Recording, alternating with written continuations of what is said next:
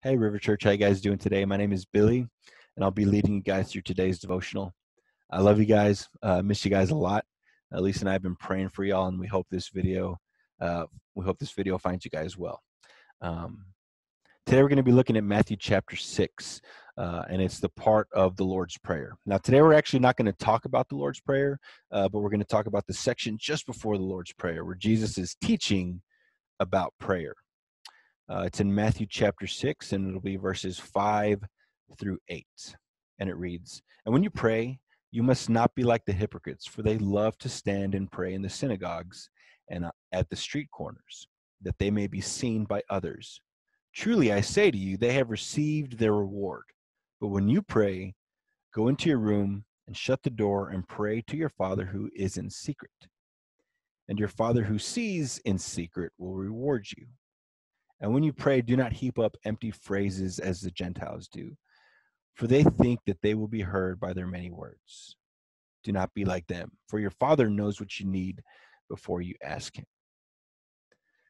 Um, so, this prayer, I'm sorry, not this prayer, but this teaching is found uh, in, in the earlier chapters of Matthew, and specifically, it's found in Jesus' Sermon on the Mount.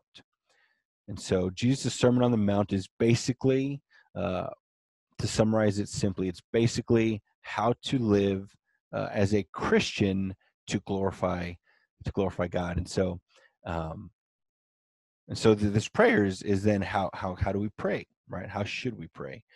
Um, and so there's a couple things I want us to notice. Um, it says, verse five says, "And when you pray, you must not pray like the hypocrites." Right? For they stand and pray in the synagogues and on the street corners that they may be seen by others. Right? And verse 7 says, And when you pray, do not heap up empty phrases as the Gentiles do, for they think they will be heard by their many words. So, what's going on here? Uh, does Jesus not want you to pray very long, lengthy prayers? Does Jesus not want you to pray in front of people? Um, of course he does, right? That's not the that's not the main point here. The point is the heart.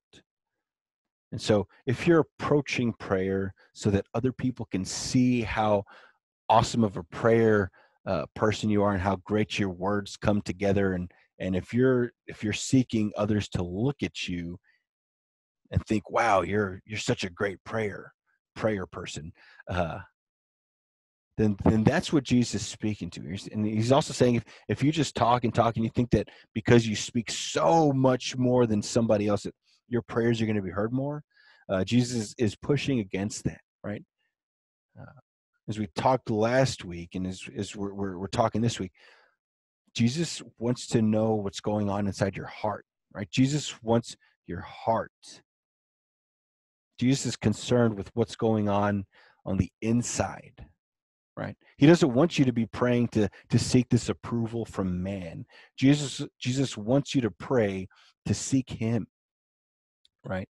I just want to read uh, earlier parts of matthew chapter 5 it says uh, and when he first started uh, the sermon on the mount says blessed are the poor in spirit for theirs is the kingdom of heaven. Blessed are those who mourn for they shall be comforted. Blessed are the meek for they shall inherit the earth. Blessed are those who hunger for thirst and righteous for they shall be satisfied. Blessed are the merciful Blessed are the pure in heart. Blessed are the peacemakers. Right. And so there's this idea of this humility, this this selflessness.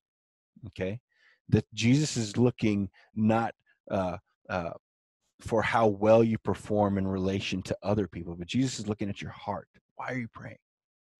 Um, and so I'd, I'd, hope to encourage you that way as, as we come before the Lord and as we, we seek uh, to, to, to, to, as we seek Him in prayer, uh, I, I would encourage us in the sense that we don't need to have all the words together. Okay, we don't need to uh, make all of our prayers sound perfect and awesome, and we don't need to pray better than Pastor Andrew. We don't need to pray in, in a way that's better than your favorite preacher. Hopefully, it's Pastor Andy. um, you understand what I'm saying? It's it's this heart, this heart behind your prayer, this sincere heart behind your prayers. So I'd like to encourage you that way. Like I said, if if if if you sometimes fumble through prayers uh, and things of that nature, don't feel like you have to have it all together to come to the Lord.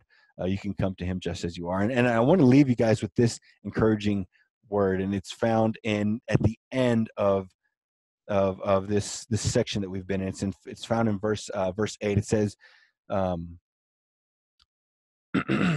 uh, for uh, it says he's talking about do not pray like them, uh, um, offering up these empty phrases, but it says, uh, for your Father knows what you need before you ask Him.